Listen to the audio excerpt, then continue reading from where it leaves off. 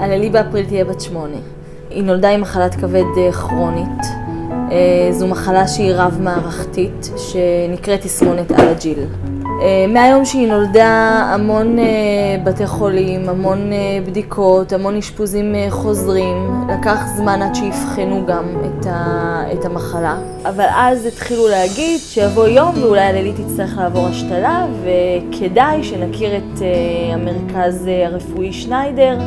הללי בת יחידה, היא אחת ומיוחדת.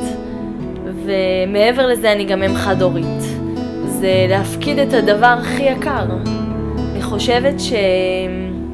שהידיעה הזו שבאמת אה, הידיים הכי הכי טובות, אה, הצוות הקשוב והחם והרגיש, אה, הצוות האכפתי, הצוות המיומן, ש...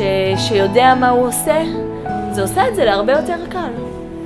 היה לי מאוד מאוד חשוב שהיא תדע לאן, לקראת מה אנחנו בעצם, אה, מה עומד להיות.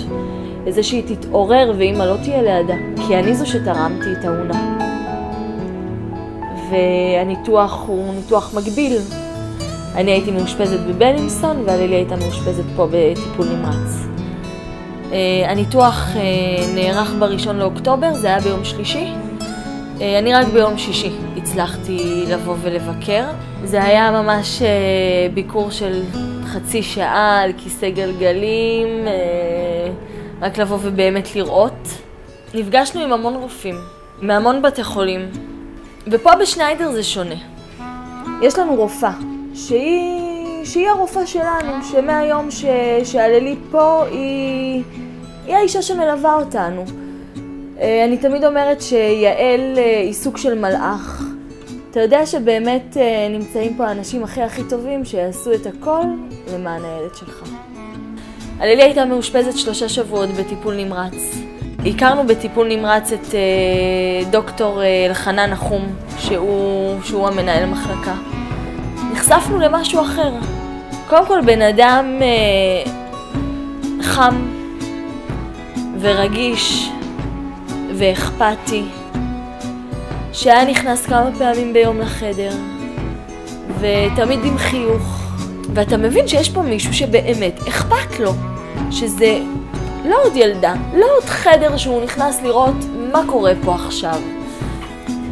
אה, אני זוכרת שהוא נכנס אה, יום אחד אה, לראות מה עם הללי, והוא אומר לה, הללי, אני החלטתי שאני לוקח את הילדה הכי הורסת במחלקה לדייט. והוא אמר לה, מה את אוהבת לאכול? אז היא אמרה לו, אני אוהבת פיצה. והוא אמר לה, ב-12 בצהריים אנחנו נפגשים על הדק. והוא חיכה לה שם בחוץ עם מגש של פיצה. ומה מסמל יותר אנושיות מזה? ללי הרבה פעמים אומרת שהיא מתגעגעת, ואני מבינה למה היא מתגעגעת, כי אני מבינה לגמרי אה, מי עטף אותה ומי היה פה לצידה, ו... וכמה שזה אשפוז, אז אה, נורא חשוב פה לצוות אה, ולמחלקה ולכולם ש... שהאשפוז יהיה נעים, והוא באמת נעים. שניידר זה בית. אמרתי את זה כבר ואני אומרת את זה כל הזמן. אני אומרת שאני אני צריכה להתרגל מחדש. זה, זה לא מה שאני מכירה לפני. ילדה חדשה. זה ממש ילדה אחרת. אנרגיות אחרות, כוחות, זה מתנה.